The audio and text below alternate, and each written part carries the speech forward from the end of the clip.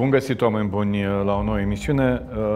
În această seară, în studioul nostru, se află domnul Ion Cristoiu. Bună seara, bine ați venit! Bună seara!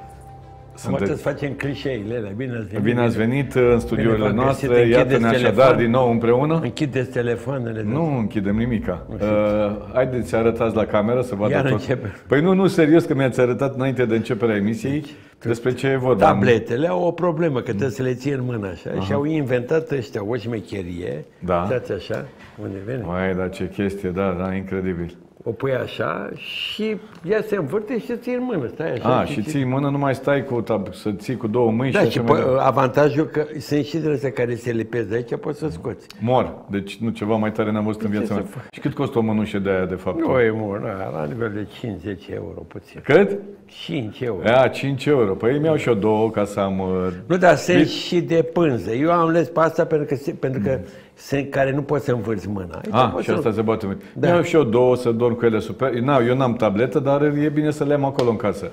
Ce- Uh, apropo de asta, Ce om sărac. eu, om, da, om, om Eu am bogat, vreo om, 5. om bogat, 5 tablete? Da. Dar de ce aveți 5? Iertați-mă. Pentru că de fiecare dată cumpăr ce este mai nou. Așa, de ce? Păi, de exemplu, la iPad am, am fiecare marcă de iPad. Cum apare una Păi, nouă? dar de ce? cu- Pentru că sunteți... uh, Da, păi de mă Adicte. fură, că zic că e mai bun decât ăla, dar e la fel de prost. Da. A, păi și nu puteți să rămâneți cu aia ultima, trebuie neapărat să le luați pe asta, Păi nu? da, da, aia care e nouă are ceva și mai deosebit. Ce are Păi, deosebit? de exemplu, acest ultim răgne de Samsung bate iPad-ul pentru că are viteză, mare viteză. Bun, uite, hai să facem un exercițiu acum, să le explicați celor care ne urmăresc, pentru că vorbiți în jurnalele video pe care eu le urmăresc la două, mă trei, mir. dim- la două, trei dimineața, atunci le puneți. Uh, cum face marele ziarist, pentru că Ion Cristo e un mare ziarist, cum face revista presei? Ce citește, cum citește, de unde și-a informațiile Ion Cristoiu?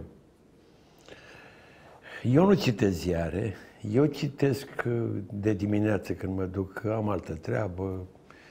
Acum citeam despre califate. Foarte bine. și din așa e. când în când, deci sunt așa cu vreo o mie și ceva de ani în urmă, da? Și din când în când accesez site-urile, citesc foarte repede ca și Lenin, o fotografiez În pagina. diagonal, așa? În diagonal îmi fac o imagine. Bine e ca după ce am o reacție să scriu rep, a, imediat, să bat la mașină, că altfel mă plictisesc după asta. Să Apropo de ce ați citit, în legătură cu ce ați citit. da, să care mi-a scrieți. trezit imediat reacția, pentru că Mhm. după asta, când m-a, cel mai greu la mine este să scriu, să încep să scriu. Cu, Dar odată ce ați început, după aia merge. da, și de regulă încep să scriu în glumă. Și scrieți pe subiectul care v-a intrigat, care v-a atras atenția, care vă provoacă o Da. reacție imediată. Nu, am, e foarte interesant, pentru că e, e, ce spun eu, e foarte important pentru oamenii indisciplinați, nu, lipsiți de ordine ca mine. Eu sunt un tip foarte dezordonat. Atunci, toată viața am căutat trucuri prin care să mă ordonez.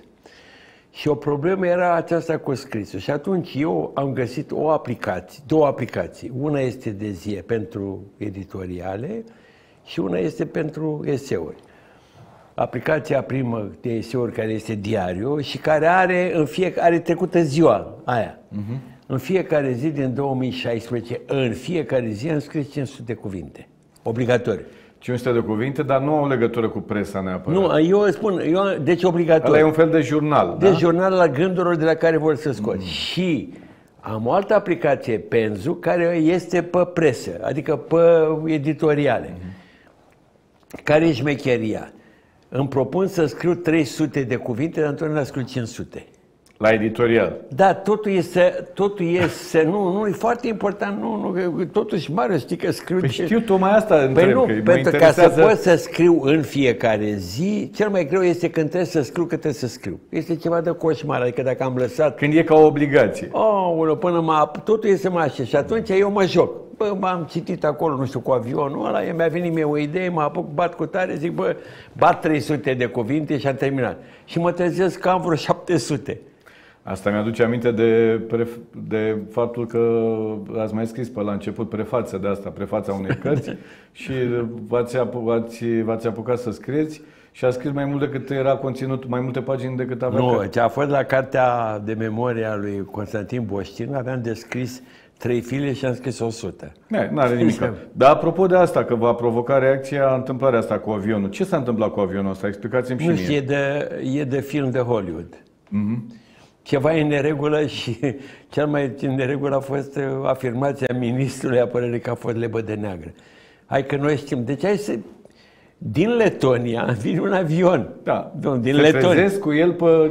Nu, ajunge prima dată în Ungaria, țară Exact. membră în NATO. Letonia și ea membră. Ajunge în Ungaria, pe un aerodrom, ăia până să vină să-i oprească, ies cu bidoanele din avion. Asta este ceva noaptea minții. Cu bidoanele de kerosen, da? Se Da, alim- alimentează. alimentează. Pornesc, străbat, eh, am înțeles că oricum o țară NATO numită România, ai noștri, eh, când apare un avion, Da. îl eh, semnalezi. Că aici e foarte interesant. Dar ei nu răspundeau la nicio din ăla. La niciun semnal, de nicio culoare. Păi nu, că e foarte important, că grav e faptul că nu răspundeau. Și atunci, urcând avioanele, când ești la manșă sau chiar dacă ești în avion, vezi avioane în jurul tău. Da, și aia nimic, nu reacționau Da, în și niciun fel. ele fac niște semne din are, Da, da, nu, da, da, ăia da. n-au reacționat nimic. Teoretic trebuia să-i doboare. Pentru că n-ai de unde să știi, de unde știu eu. Da, ce, ce fel de avion, cum e, ce poate Ei să... trec, ne fac semn cu mâna, în Bulgaria. În Bulgaria aterizează pe un aerodrom, acoperă avionul cu o prelată și au dispărut.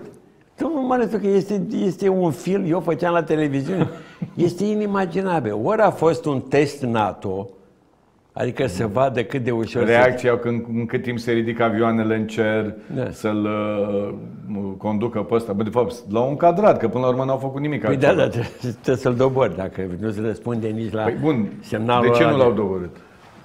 Că au zis că de ce să-și bată capul? Deci în momentul în care nu răspund, este și lege. Deci ai înțeles, e, nu putea să comunice cu solul, nu putea să comunice cu avioanele. Dar în momentul în care ești la manșe, toate vezi avioanele și ele fac niște semne. Chiar dacă, dacă tu ești pilot, n-ai cum să nu știi semnele. Bun, mai mult decât atât, cât de nebun să fii să nu răspunzi la niciun, uh, să n-ai nicio reacție la toate semnele astea. Da, știau că nu reacționăm. A, că nu să fie altă, nu De, să de, fie regulă, doborât. nu, de regulă la din ăsta tragi. Pentru că nu știi ce e. Nu, dar întâmplarea asta, aterizezi în Ungaria, da? Până să vină ea să se dezmeticească.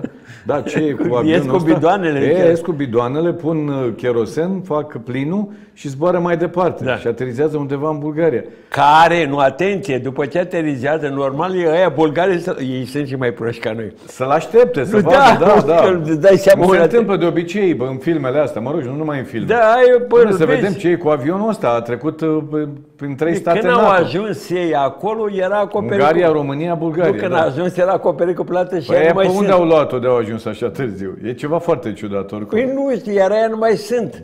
Da.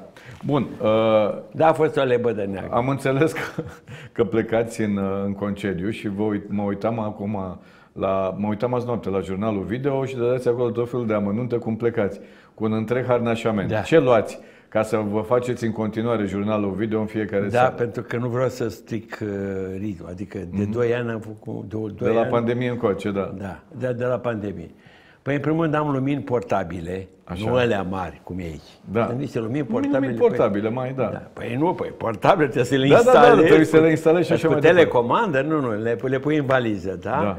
Eu am un laptop de 17 inch, destul, nu, de 16, destul de mare și uh, iau cameră. Face să râd, jur, Nu așa. camera de acasă. Da.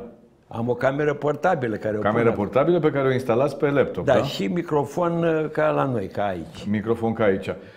Bun, da, întrebarea e, plecați 10 zile în concediu, ce vă mână în luptă după o zi întreagă în care vă duce să vizitați una alta, mă rog, nu contează asta, în zona lacurilor am înțeles că mergeți, da? Da. Din nordul Italiei. După o zi întreagă de asta, să te pui în fața calculatorului să-ți faci jurnalul video. Pe de asta întotdeauna iau două camere. Bun, că ce vă mână în luptă să faceți asta? Adică, Domnule, Dumnezeule, Este, este, e greu de... E, încă o dată ar trebui să fac lecții de viață. Problema, de exemplu, când am slăbit, că ar trebui să slăbesc așa, mi-am făcut așa. Deci, ce se întâmplă? Marea majoritate a oamenilor, de exemplu, fac o chestie, pac, pac, 3-4 zile se pot Nu, eu nu pot să, eu fiind dezordonat, total dezordonat, Atunci eu îmi fac un fel de porție. Când eram, îmi băi povesti, când eram copil, mă lua la prășit, ai mei dădeau cu sapa, taca, taca, taca. Și atunci eu spuneam, bă, care e porția mea? A, de acolo până acolo, tac, Adică tac. să aveți o țintă de atins. Da, o terminam și mă apucam de citit. Înaintea lor. Ei dădeau, băi, nu mă enervat să dau într-una. Adică eu spuneam care este, Care este norma mea. obiectivul, Că da, da, da, obiectivul, da. norma. Ei, și atunci mi-am făcut o normă de alergat în fiecare dimineață și în fiecare seară, jumătate de oră, în așa fel încât eram la Beijing, la ora 8, aveam întâlnire și mă sculam la 6.